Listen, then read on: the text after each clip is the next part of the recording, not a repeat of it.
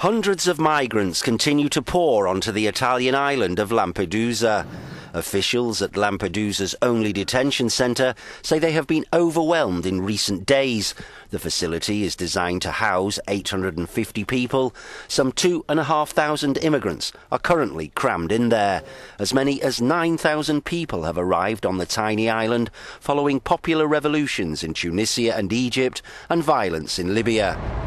There are reports that 35 migrants lost their lives after their boat sank between the Tunisian coast and the island. Five others have been rescued by Coast Guard. A Moroccan vessel that set sail from the coast of Libya carrying one and a half thousand migrants has been turned back by authorities.